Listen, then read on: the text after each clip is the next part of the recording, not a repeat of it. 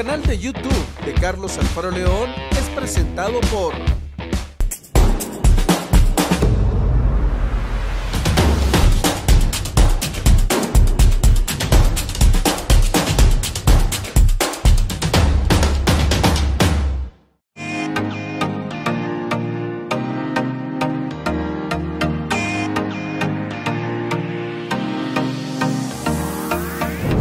muy buenas. Les saluda Carlos Alfaro León. Bienvenidos a este su canal de YouTube, que es patrocinado por Lucalsa, la empresa líder en la distribución de lubricantes Delo, Ursa, Javelin y Supreme. Recuerden, si va a soldar, hágalo con Lincoln Electric, la soldadura de todos los nicaragüenses y que es distribuido por Casa McGregor para todo el país. Y hay que estudiar los mejores cursos de inglés en la mejor universidad de Nicaragua, Universidad Americana UAM. Hoy les voy a presentar en este su canal de YouTube una entrevista con uno de los bateadores más finos que en mi vida he visto. De hecho, lo considero el mejor bateador derecho que mis ojos han visto. Se trata de Henry Roa. ¿Qué clase peloterazo era Henry Roa? Un bateador de esos como pocas veces han existido en la historia de nuestro béisbol. No lo haremos esperar. Veamos a Henry Roa, quien nos comenta de los inicios de su carrera, su gran trayectoria dentro de la pelota de primera división y también con selección nacional. Cómo quiere ser recordado y a qué pelotero él se quitaría el sombrero y le rendiría todo una reverencia por su gran calidad. Sobre todo ello nos habla Henry Roa aquí en el canal de YouTube de Carlos Alfaro León.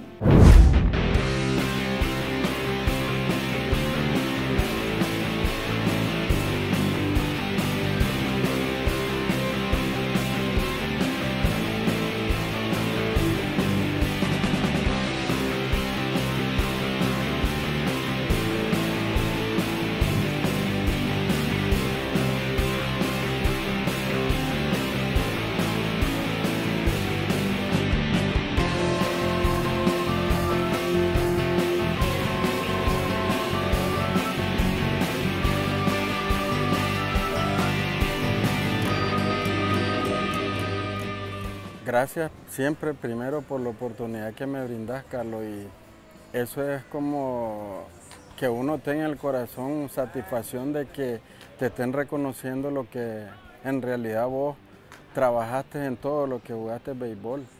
Pues yo lo que siempre recuerdo que de niño me inicié en las ligas infantiles de barrio, incluso hasta en bola de calcetín. Pues yo siempre menciono a la gente que estuvo conmigo, como el caso de don Adrián López, Ronald Loaiziga, Manuel Álvarez y ya en la última Jesús Quintana, pues que fue el que me llevó al equipo de León. A él tengo que agradecerle mucho más, pues porque él fue el que me recomendó, pues y llegué al equipo de León y a partir de ahí pues comenzó todo para Henry Roa. Como niño, ¿cómo llegaste a ponerte una manopla, un uniforme de béisbol? Es increíble, te asustaría cuando en el barrio nosotros estamos y no tener los, los utensilios necesarios. Incluso hasta una vez yo me puse a cachar cuando tenía nueve años y sin máscara. Eso era duro decir pues que tal vez tu gente del barrio no lo tenía, pero el inicio mío así pues en el béisbol fue de pequeña edad. Me gustaba ir a los campos, pues había, me divertía ir viendo jugar a la gente mayor, en este caso mayorá. Mucho tiempo vi jugar softball a mi papá pues y, y mis tíos pues también vienen de familias beisboleras y y ahí a lo mejor se da pues que uno tenga algo que haya ofrecido para jugar béisbol. ¿Jagger jugó primero béisbol que vos? En el equipo de primera división, Jagger entró primero, el León. Este, pero casi igual nos iniciamos en la pequeña liga, pues me acuerdo que, ah, como dice más bien Jagger, me andaba agarrado de la mano, me, él es el que me, como dice, me inculcaba a jugar béisbol, pero también pues no podíamos apartar las clases, siempre íbamos a la escuela, pero sí, pues uno cuando inicia, más en las pequeñas ligas, pues uno va pensando que quien no vea jugadores que vos también le da fama en decir, como él quiero ser. Y así pues uno se va arreglando la mente para volverse mejor pelotero. ¿Cómo veía vos allá de tu hermano mayor dentro del juego? Bueno, mi hermano, como te digo, inició en el equipo de León, creo que fue en el 87, 88, no sé, algo así, pues no recuerdo, pero sí lo iba a ver jugar. Él pues no era un jugador regular, pues siempre habían juegos así que lo metían a jugar y además de eso, pues que era un buen utility, se, empeñaba, se desempeñaba en todas las posiciones, era un tremendo jugador, pues, pero a lo mejor tal vez no tuvo la oportunidad que yo tuve y por eso pues quizás los números míos son mejores. ¿Quién fue tu ídolo en el béisbol? Bueno, la verdad me, me gustaba mucho antes escuchar hablar de grandes personajes como Valeriano Mairena, el, que le decían el chombo en Estelí, que eran grandes tercera base, pero, pero aunque muchos no creen, pues mm, yo admiraba mucho a, Nazario Cortés, el difunto, porque era una tercera base que se fajaba ahí, era bravo. Y tal vez en mi mente uno dirá Nazario Cortés, pero si vos no lo viste jugar, pero después uno va escuchando y decir, bueno, yo como él quiero ser. Pero sí, pues admiraba mucho a Nazario Cortés y además de eso, pues fue mi entrenador y él trabajó muy duro conmigo porque me decía, si querés lograr el éxito en el béisbol tenés que trabajar, no te rindas. Igual pues tengo que mencionar a César Jarquín también que me ayudó mucho. Si te tocara elegir o mencionar a un pelotero que vos te quitarías la gorra, el sombrero y le rendirías tributo, ¿quién sería? Bueno, pues para mí yo pienso de que Nemesio Porra es el tipo que uno debe quitarse la gorra porque no sé cuántos campeonatos de bateo ganó. De igual forma, pues lo hizo con más de 400 puntos y era un tipo bien excelente en la zona de strike. Aquí hay muchos peloteros que yo te puedo mencionar, pero para mí, pues en el béisbol nacional, Nemesio Porra. ¿Cómo te describirías como bateador? Bueno, la verdad es que uno como bateador en mi particular puedo decir que muy bueno.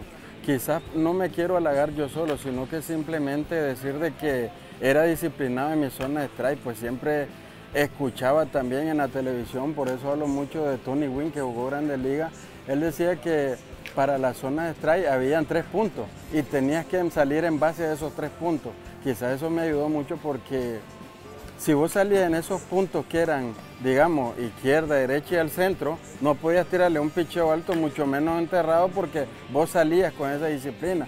Pero esas son cosas que uno pues aprende, igual pues tenés que conocer cómo, cómo lanza cada tipo, cuál es su mejor picheo y en base a eso va a ir a batear. En tu carrera llena de éxito, ¿cuál consideramos que el momento cumbre, el que más te llena de emoción, que fuiste vos el gran protagonista?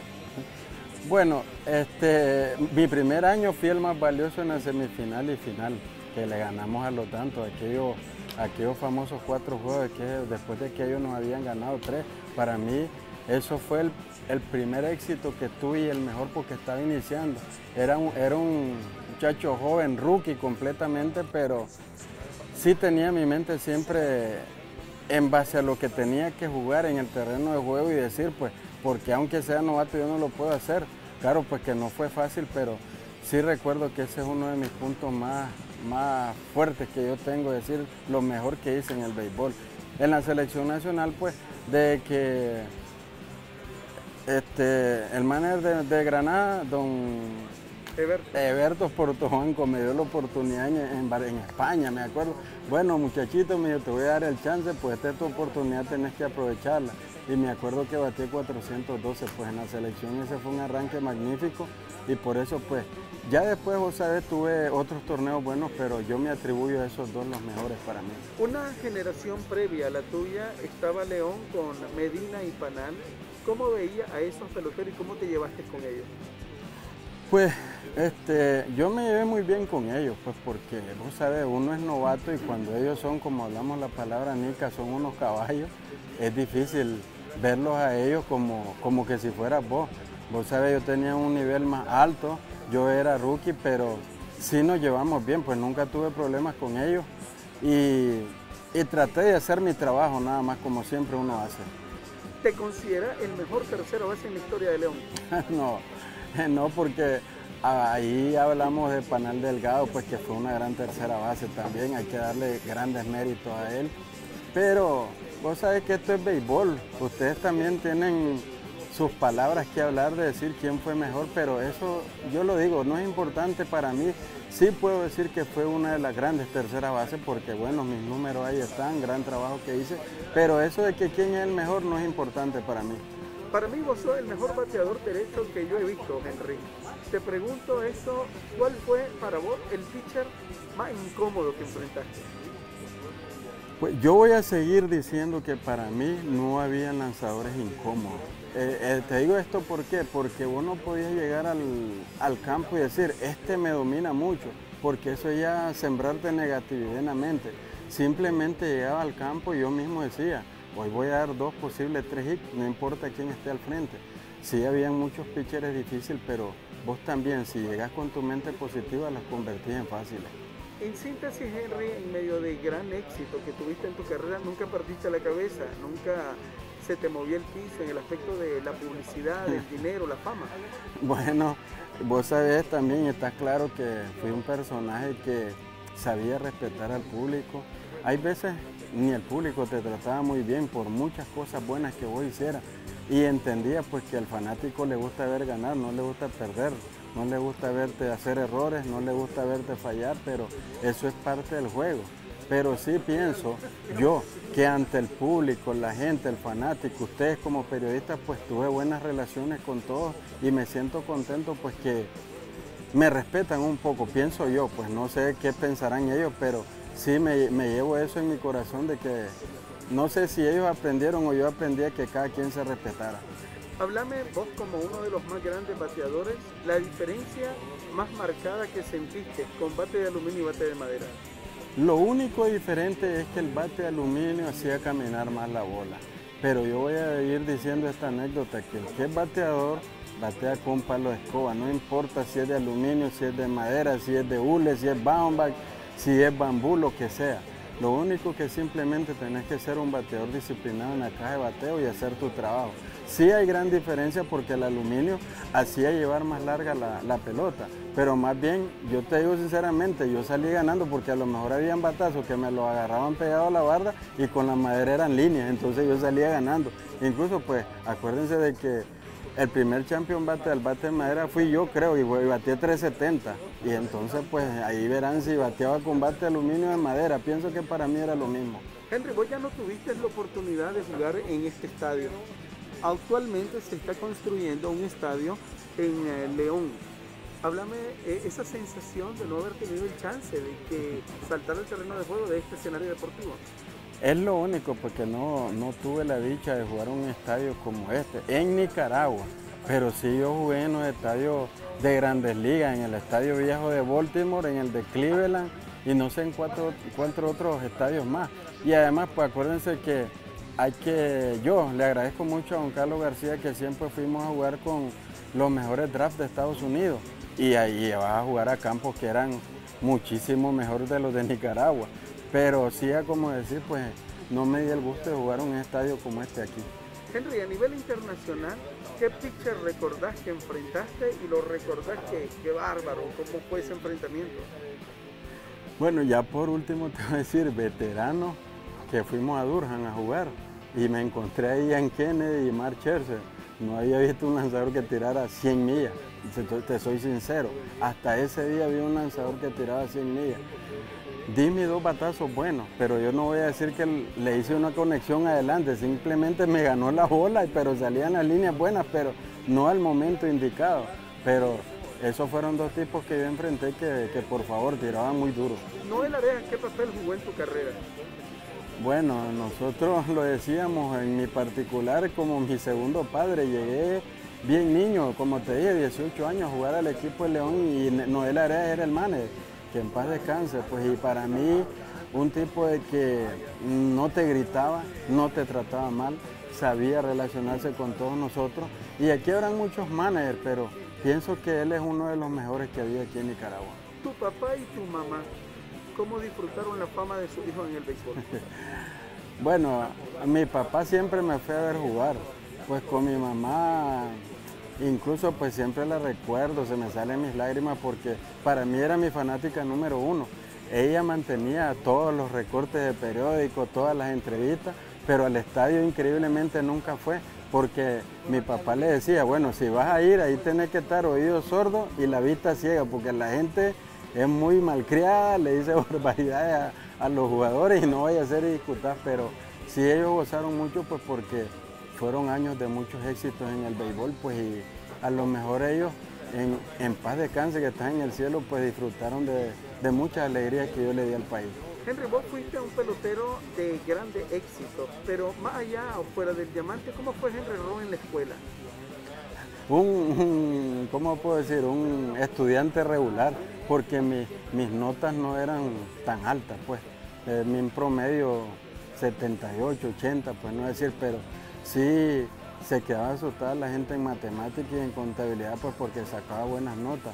Al final, pues saqué la contabilidad trabajé en Enabá como auxiliar del contador y ahí pues ya no pude, ya no tuve chance de ir a la universidad porque fue el momento en que comencé a jugar béisbol, pero eso es parte pues, de la vida de uno y muy agradecido con Dios pues, por haberme dado este don. Le hablas a los chavalos, ¿cuál es el mejor consejo que le, o cuál consejo le daría a estos jóvenes peloteros que buscan cómo abrirse paso en esto del béisbol? Bueno, un consejo sano lo primero es que tienen que ser disciplinados en la zona de strike Igualmente, como dije anteriormente, tienen que prepararse para el mejor picheo de ese lanzador. Tener también en mente que si vas a batear un primer picheo tenés que prepararte para ello, sea recto, sea curva, sea cambio, lo que vos te vayas a preparar. Pero ellos tienen que estar conscientes de que si te preparas para un picheo es a ese que vas a ir a buscar. Ahí es donde viene la disciplina del bateador. ¿Cuál es el picheo más difícil de batear para Henry Roa? Para mí la recta que vaya a 100 millas. Muchos hablan de los rompientes, pero para mí los rompientes eran picheos de ajuste. Yo, yo pienso en mi mente que fui buen, bateador de rompientes pues porque mi bateo era quedarme atrás, salir y atacar la bola pues las manos rápidas, pero para mí batear una recta de más de 95 millas no es fácil. Ya nos dijiste que para vos no había pitcher difícil, complicado o incómodo. Sin embargo, en tu ranking de los pitchers que enfrentaste en los 90, ¿quiénes serían los tres principales? Bueno, yo te voy a decir que me encontré a Jairo Pinea que tiraba un zinc era, pienso yo, a más de 95 millas. No era tan fácil batearle, pero a como te digo, la mente tenés que tenerla preparada para quien esté al frente, no importa quién sea. Tenían a, Joaquín Avendaño con gran curva, el mismo José Luis Quiroz, Cairo Murillo, eran tipos que se, se fajaban con voz. Y en zurdo, pues no me enfrenté a Orlando Cueva, ya cuando lo enfrenté ya estaba más flojo él, igual que Epifanio. Pero si era, a Drue sí me enfrenté, ya no tenía la velocidad que según ellos tenían, pues no, no se me hacía muy difícil batearle. Era un pitcher incómodo, igual como Martín Polanco en su momento, tiraba piedra. Y, pero sigo diciendo que en tu mente tiene que estar que no hay nadie enfrente de vos que sea mejor que vos. Para terminar, ¿cómo quieres ser recordado Henry Roa? Como uno de los mejores tercera base del país, así me lo dijiste vos, pero eso como digo queda siempre en recuerdo, pero le agradezco a la fanaticada, le agradezco a ustedes, a mis padres, a mi familia, pues por haberme apoyado, pero primordialmente al don que me dio Dios para jugar béisbol y ser uno de los mejores de Nicaragua. Bien amigos, ahí teníamos a Henry Roa, una de las más grandes leyendas en la historia del béisbol nicaragüense. Ya veíamos cómo él admiró enormemente a Nemesio Porra, su ídolo en el béisbol fue Nazario Cortés y nos comentó acerca de cómo llegó a la pelota de primera división. Recuerden todos darle clic a suscribirse, clic a la campanita para que cuando subamos un nuevo video, usted sea el gran conocedor de la mejor información deportiva nacional e internacional. Les ha informado a todos ustedes Carlos Alfaro León. Hasta nuestra próxima entrega.